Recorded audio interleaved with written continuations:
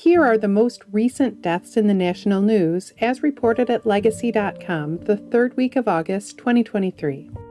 Legacy.com is where you can find any obituary or publish an obituary in any newspaper in America and beyond. Actor Chris Peluso died August 15, 2023, at the age of 40. He starred on Broadway as Sky in Mamma Mia, as well as appearing in such shows as Assassins and Beautiful the Carole King musical. Peluso is also being remembered for his role as Fiyero in a tour of Wicked.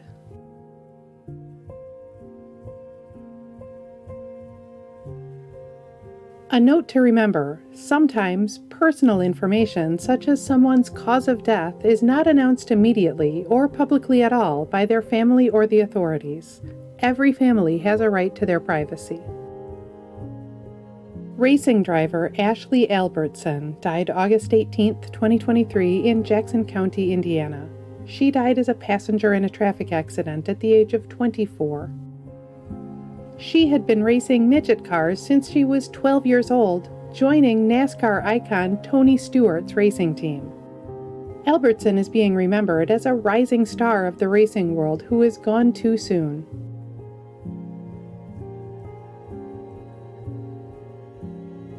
Sportscaster Rick Jeanneret died August 17, 2023, of multiple organ failure at the age of 81. He was the beloved play by play announcer for the NHL's Buffalo Sabres for more than 50 years. Jeanneret is being remembered for iconic calls like his shouts of Mayday when Brad May made a crucial overtime goal in 1993.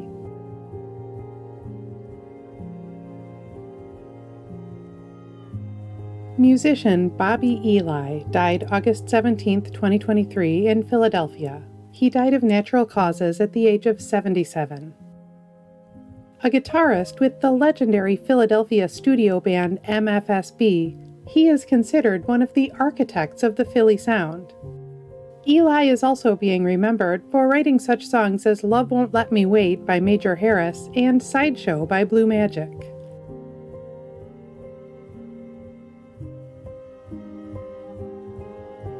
Football player Maxie Baughan died August 19, 2023, in Ithaca, New York. He died of natural causes at the age of 85. He was a Philadelphia Eagles Hall of Famer, going to the Pro Bowl five times in his six seasons with the team. Baughan is also being remembered for his years with the Los Angeles Rams, including another four Pro Bowl appearances.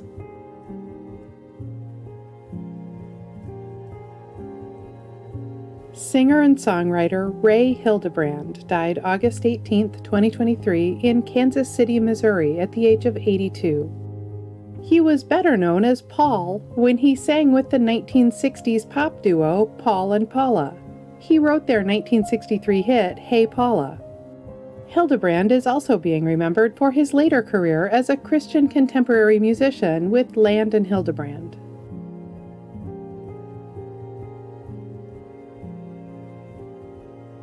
Geologist W. Jason Morgan died July 31, 2023, at his home in Natick, Massachusetts, at the age of 87. He pioneered discoveries in plate tectonics, explaining how the movement of plates changes the face of the Earth over time and causes volcanic activity. He is also being remembered for his theory of mantle plumes, explaining how some anomalous volcanoes are formed.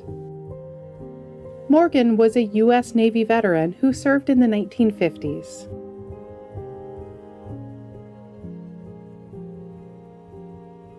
Businesswoman Patricia Bragg died August 10, 2023, at her home in Goleta, California, at the age of 94. She was the longtime CEO of Bragg Live Food Products, known for health staples like apple cider vinegar, liquid aminos, and nutritional yeast. Bragg is being remembered for her philanthropy and health advocacy.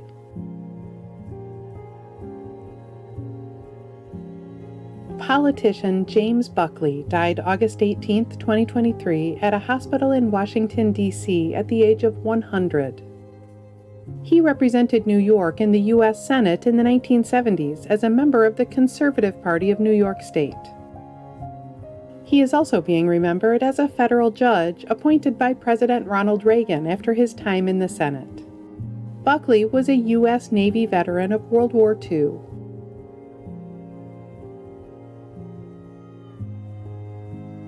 Computer scientist John Warnock died August 19, 2023, of pancreatic cancer at the age of 82.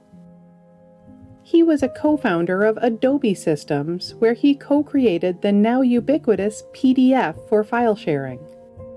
Warnock is also being remembered for his work on creative software mainstays like Adobe Illustrator and Photoshop.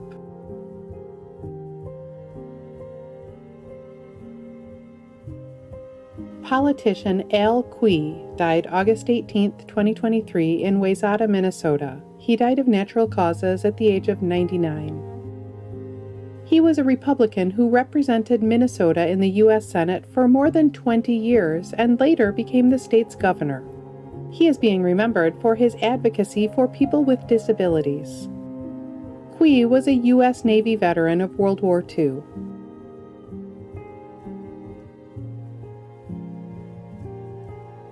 Olympian Tom Courtney died August 22, 2023, at an assisted living facility in Naples, Florida. He died of amyloidosis at the age of 90.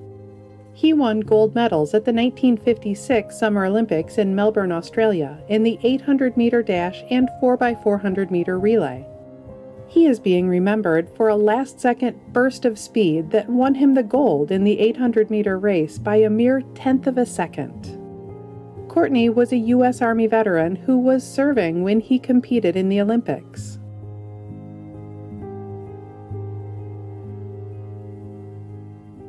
Politician Carol Robles-Román died August 20, 2023, in New York City. She died of lung cancer at the age of 60.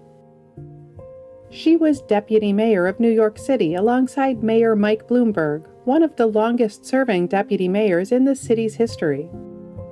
Robles-Román is being remembered for her work on behalf of women and those affected by human trafficking.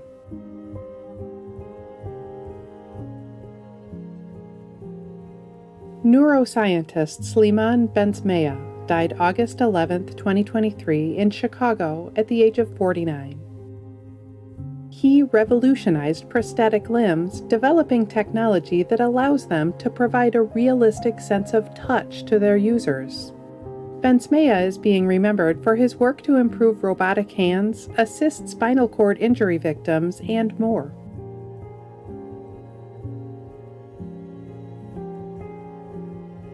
Screenwriter David Jacobs died August 20, 2023, at a hospital in Burbank, California. He died of complications from a series of infections at the age of 84. He created two great primetime soap operas, Dallas and its spin off Knots Landing, also writing extensively for both shows. Jacobs is being remembered for his profound influence on the development of primetime soaps.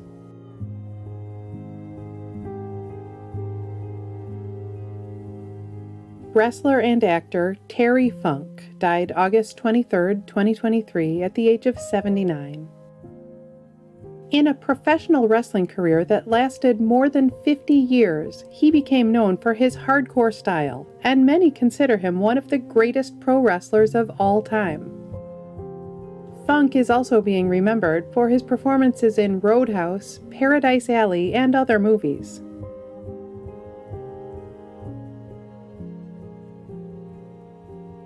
Actress Nancy Frangione died August 18, 2023, in Barnstable, Massachusetts, at the age of 70. She played Cecile de Poulignac on Another World in the 1980s and 90s, winning the first Soap Opera Digest Award for Best Villainess. Frangione is also being remembered for her roles on All My Children, The Nanny, and other TV shows.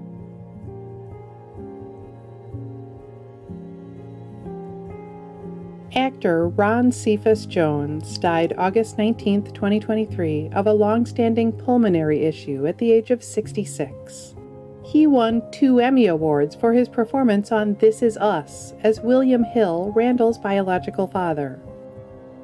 Jones is also being remembered as a Tony Award nominee for his work in Clyde's, as well as for such TV shows as Mr. Robot and Luke Cage.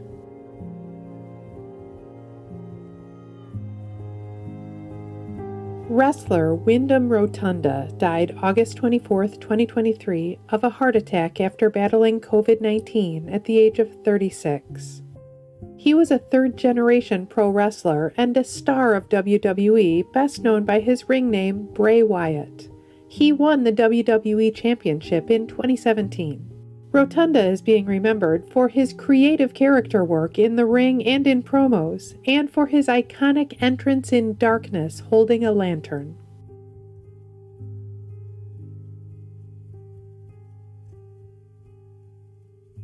In addition to featuring current deaths in the news, Legacy.com also honors the lives and legacies of notable people who died in the past. Here are some of this week's anniversaries. 11 years ago this week, comedian and actress Phyllis Diller died at the age of 95. One of the first well known female comedians, she was widely seen on TV from the 1960s through 2000s on shows like The Hollywood Squares and The Bold and the Beautiful. 18 years ago this week, actor Brock Peters died at the age of 78. He had memorable roles in such movies as To Kill a Mockingbird, Porgy and Bess, and Soylent Green. 22 years ago this week, singer and actress Aaliyah died at the age of 22. She was known for hits like Try Again and Miss You, and she starred in the movies Romeo Must Die and Queen of the Damned. Musician Keith Moon was born 77 years ago this week. He died in 1978 at the age of 32. He was the drummer for The Who, playing on enduring hits like My Generation and Pinball Wizard. Actress Valerie Harper was born 84 years ago this week. She died in 2019 at the age of 80. She was best known for her starring roles on The Mary Tyler Moore Show and its spin off, Rhoda. Musician Kenny Rogers was born 85 years ago this week. He died in 2020 at the age of 81. He was a superstar of country music thanks to hits like The Gambler, Lucille, and his duet with Dolly Parton, Islands in the Stream. Actor Sean Connery was born 93 years ago this week. He died in 2020 at the age of 90. He became a star as he played James Bond in seven films, and he also starred in such movies as Marnie and The Untouchables. Singer and songwriter Jim Reeves was born 100 years ago this week. He died in 1964 at the age of 40. He was a star of country music in the 1950s and 60s with hit singles like Four Walls and He'll Have to Go. Conductor and composer Leonard Bernstein was born 105 years ago this week. He died in 1990 at the age of 72. One of the greatest conductors of his time, he was also renowned for writing the music for the classic musical West Side Story and the operetta Candide. Author Jacqueline Susann was born 105 years ago this week. She died in 1974 at the age of 56.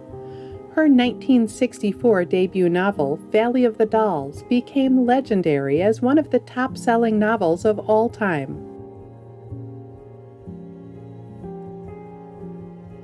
Every week in the United States, flags are lowered to half staff to honor the lives of Americans whose communities are mourning their loss. Here are the most recent half staff memorial flag honors. Flags in Indiana have been lowered to honor the memory of EMT Michael Ray Wilcox Jr. Flags in South Carolina have been lowered to honor the memory of State Senator John L. Scott Jr.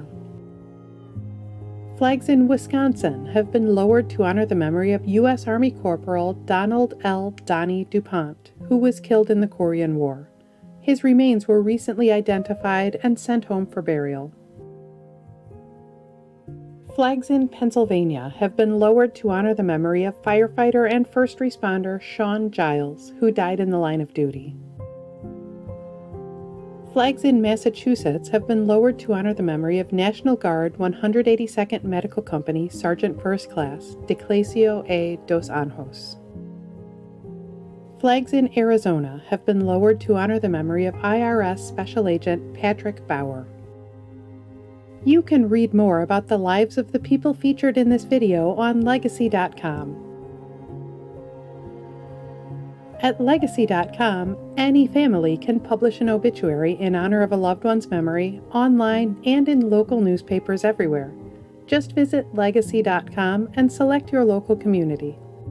You can also follow Legacy.com on Facebook and subscribe to our channel on YouTube to stay up to date on national news deaths.